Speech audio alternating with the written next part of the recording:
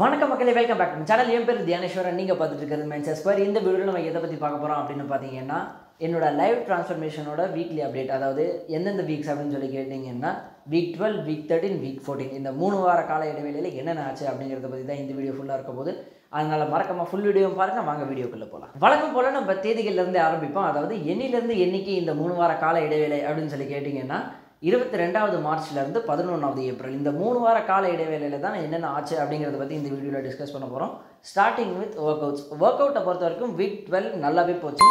Week டுவெல்லில் வந்து வாரத்துக்கு மூணு நாள் ஒர்க் அவுட் பண்ணேன் மூணு நாள் ஆக்டிவ் வாக் பண்ணேன். ஸோ ஆல்டர்னேட் டேஸில் பண்ணிகிட்டு இருந்தது. இது வந்து நல்லாவே போச்சு. கொஞ்சம் ஃப்ரெஷ்ஷாக ஃபீல் பண்ண மாதிரி இருந்தது. ஆனால் ஒர்க் அவுட்ஸ் கரெக்டாக கம்ப்ளீட் பண்ணிட்டேன். பேசிக்ஸ் தான் ஒன்றும் பெருசாக ஒன்றும் பண்ணலை. பேசிக்ஸ் பண்ணேன் கொஞ்சம் ஆப்ஸ் பண்ணேன். அதாவது என்னென்ன பண்ணியிருக்கேன் அப்படின்னா என்னோட ஒர்க் அவுட் நான் ஆல்ரெடி ஒரு வீடியோ போட்டிருக்கேன். அந்த வீடியோ நீங்கள் பார்க்கலன்னா கண்டிப்பாக எங்கள் மேலே ஐ கார்டில் கொடுக்குறேன். அது மறக்காமல் போய் பார்த்துடுவாங்க அதில் இருக்கிற ஒர்க் அவுட்ஸ் தான் நான் ஃபாலோ பண்ணிட்டு இருந்தேன் பேசிக்கலி அதுதான் பண்ணேன். நல்லாவே இருந்துச்சு. சர்க்யூட் பண்ணும்போது மூணு ரவுண்ட் நாலு ரவுண்ட் பண்ணும்போது நல்லா இருந்துச்சு. ஆனால் வந்து சோர்னஸ் அதிகமாக இருந்தது. ஏன்னா வந்து திருப்பி ரொம்ப நாள் கழிச்சு திருப்பி பண்ணும்போது சோர்னஸ் ஜாஸ்தியாகவே இருந்தது. அதனால் அதை தாண்டி திருப்பி பண்ணிகிட்டே இருக்கணும். அப்போ தான் நம்ம பாடி ரொட்டீனுக்கு ப்ராக்டிஸ் ஆகும்னு சொல்லி பண்ணிகிட்டு இருந்தேன். அதுக்கப்புறம் வீக் தேர்ட்டீனில் என்னாச்சு அப்படின்னு சொல்லி கேட்டிங்கன்னா வீக் தேர்ட்டீனை பொறுத்த வரைக்கும் நல்லா போயிட்டு இருந்தது. அகைன் ஃபாஸ்டிங் தேர்ஸ்டே ஃபாஸ்டிங் இருந்தேன். தேர்ஸ்டே அண்ட் சாட்டர்டே வழக்கமாக இருக்கிறது தான். ஸோ தேர்ஸ்டே ஸ்டா ஃபாஸ்டிங்க்கும் போது நான் வெனஸ்டே வந்து ஹெவியாக ஒர்க் பண்ணிட்டேன்னு நினைக்கிறேன். கொஞ்சம் ஏதாவது புதுசாக செய்வோம் அடிஷ்னலாக ஆட் பண்ணுவோம் ஆட் பண்ணுவோம்னு சொல்லிட்டு ஸ்குவாட்ஸ் கொஞ்சம் எக்ஸ்ட்ரா போட்டுட்டேன். ஸோ ஸ்குவாட் வந்து நிறையா ஸ்குவாட்ஸ் போட்டதுக்கப்புறம் ஸ்குவாட்ஸ் எல்லாம் அப்படியே ஃபயரில் மாறிடுச்சு. ஸோ ஃபயர் ஆகிடுச்சு ஸ்குவாட்ஸ் எல்லாம்.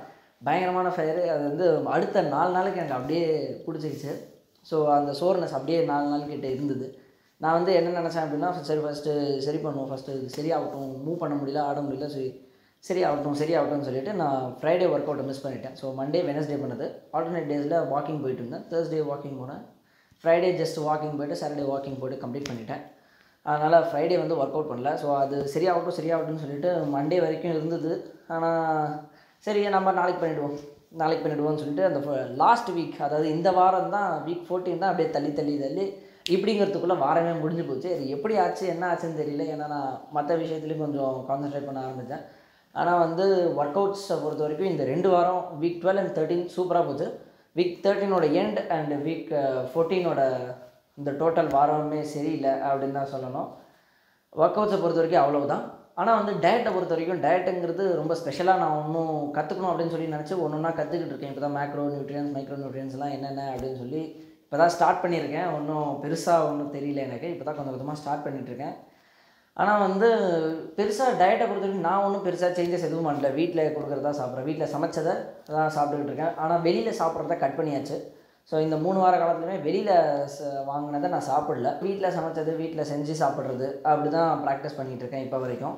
அதனால் டயட்டுங்கிறது வெளியில் சாப்பிட்றது மட்டும் கட் பண்ணியிருக்கு வேறு எந்த இதுவும் பெருசாக ஒன்றும் பண்ணலை.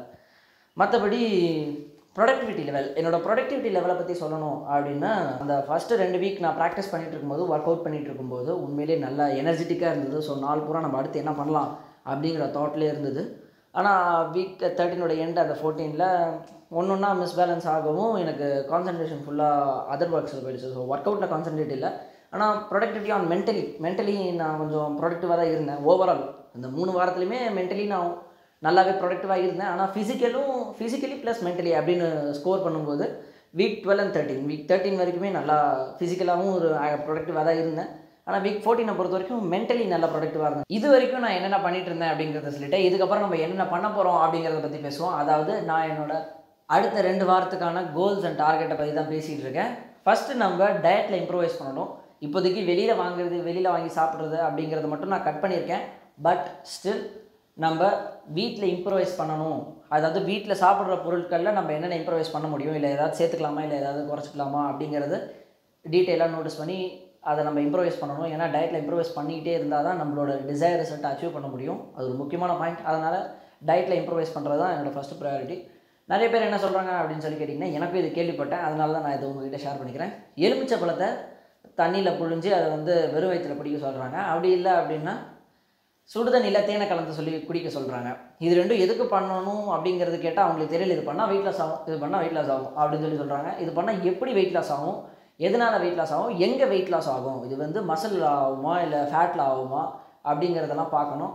அதனால் இதை பற்றி நான் முழுசாக தெரிஞ்சுக்கிட்டு அப்புறமா இதெல்லாம் ஃபாலோ பண்ணலாம் அப்படின்னு இருக்கேன். உங்களுக்கு ஏதாவது பர்சனல் சஜஷன்ஸ் இருக்குது அப்படின்னா அதை கண்டிப்பாக கீழே கமெண்ட் பண்ணுங்கள் இல்லை நான் சில பேர் இதை பார்த்துருக்கேன். அவங்க இதுதான் ஃபாலோ பண்ணாங்க. இந்த சின்ன டிப்பு தான் ஃபாலோ பண்ணாங்க. ஆனால் வந்து அவங்களுக்கு இம்ப்ரூவைஸ் ஆகிடுச்சு பாடி பயங்கரமாக இல்லை வந்து நானே இதை பர்சனலாக ட்ரை பண்ணியிருக்கேன். எனக்கு நல்லாவே ரிசல்ட் தெரியுது இல்லை தெரிஞ்சுது அப்படின்னா அதையும் கண்டிப்பாக கீழே மறக்காமல் கமெண்ட் பண்ணுங்கள் எனக்கு ரொம்ப யூஸ்ஃபுல்லாக இருக்கும். அது மட்டும் இல்லாமல் நம்ம சேனலில் பார்க்குற மற்ற எல்லாருக்குமே ரொம்ப யூஸ்ஃபுல்லாக இருக்கும். அதனால் மறக்காமல் கண்டிப்பாக கீழே கமெண்ட் பண்ணுங்கள் ரெண்டாவதாக நம்ம எதை பற்றி பார்க்க போகிறோம் அப்படின்னு பார்த்தீங்கன்னா ஒர்க் அவுட் அதாவது நம்ம ரெகுலராக பண்ணுற மாதிரி ஒரு ஒர்க் அவுட்டை ஃபிக்ஸ் பண்ணுறது அப்படிங்கிறது ரொம்பவே முக்கியமான விஷயம். ஏன் அப்படின்னா இப்போ நான் அந்த ஒர்க் அவுட் பண்ணிக்கிட்டு தான் இருந்தேன். ஆனால் வந்து நடுவில் சோர்னஸை ஒரு காரணமாக காமிச்சு அந்த சோம்பேறித்தனம் வந்ததுனால என்னால் ஒன்றுமே பண்ண முடியல. ஸோ சோர்னஸ் சரியாகட்டும் சரியாகட்டும்னு சொல்லிட்டு அப்படியே தான் இந்த வாரம் ஃபுல்லாகவே ஸ்கிப் ஆச்சு. வீக் ஃபோர்டீன் அப்படியே ஸ்கிப் ஆகிடுச்சு இப்படிங்கிறதுக்குள்ளே டைமும் முடிஞ்சிருச்சு. நான் என்னடா அப்படின்னு சொல்லி நினச்சி பார்க்கறதுக்குள்ளே வீக் முடிஞ்சிருச்சு. நான் அவங்க முன்னாடி ரிப்போர்ட் சொல்ல வேண்டிய நிலைமைக்கு வந்துட்டேன். அதனால் நம்ம வந்து அதை கன்சிஸ்டண்ட்டாக மெயின்டைன் பண்ணுற அளவுக்கு ஒரு ப்ராப்பரான ஒர்க் அவுட் ரெடி பண்ணணும். அதுவும் மோஸ்ட்லி ஹோம் ஒர்க் அவுட்டாக தான் இருக்கணும். இந்த மாதிரி எக்ஸ்ட்ரா பொருள் எதுவும் இல்லாத மாதிரி வெறும் எக்ஸ்ட்ரா பொருள் எதுவுமே இல்லாமல் வெறும் கேலிஸ்தனிக்ஸ் அண்ட் பாடி வெயிட்டை வச்சு மட்டுமே பண்ணுற மாதிரி ஏதாவது ஒர்க் அவுட் நான் ஃபுல்லாக ரெடி பண்ணணும் அப்படின்னு சொல்லி நினச்சிக்கிட்டு இருக்கேன். ஏன் அப்படின்னு சொல்லி கேட்டிங்கன்னா பாடி வெயிட் இருந்தால் தான் நம்ம எல்லா இடத்துலையும் பண்ண முடியும் வீட்லேயும் பண்ண முடியும். ஆனால் அது மட்டும் இல்லாமல் கோவிட் கேசஸ் அப்படின்றது ஜாஸ்தி ஆகிடுச்சு முன்னாடியே சொல்லியிருந்த மாதிரி நம்ம லாஸ்ட் வீக்லேயே சொல்லியிருந்த மாதிரி எக்ஸ்பெக்ட் பண்ணது தான். ஜாஸ்தி ஆகிட்டே இருக்குது கேசஸ் அதனால் ரெஸ்ட்ரிக்ஷன்ஸ் போட ஆரம்பிச்சிட்டாங்க. பீச்சு பார்க்கு எல்லா இடத்துலையும் ரெஸ்ட்ரிக்ஷன்ஸ் போட ஆரம்பிச்சிட்டாங்க. அதனால் வெளியில் போய் ஒர்க் அவுட் பண்ணுறது அப்படிங்கிறது ஒரு சாத்தியம் இல்லாத ஒன்று வாக்கிங் போகிறதோ இல்லை பார்க்கில் போயிட்டு அங்கே பாடி வெயிட் டிப் ஸ்டேஷன் அந்த மாதிரி ஏதாவது ஆக்சஸ் பண்ணுறதோ இப்போதைக்கு சாத்தியம் இல்லாத ஒரு விஷயமா இப்போதைக்கு மாறிடுச்சு. இன்னும் கொடூரமாக மாறும்.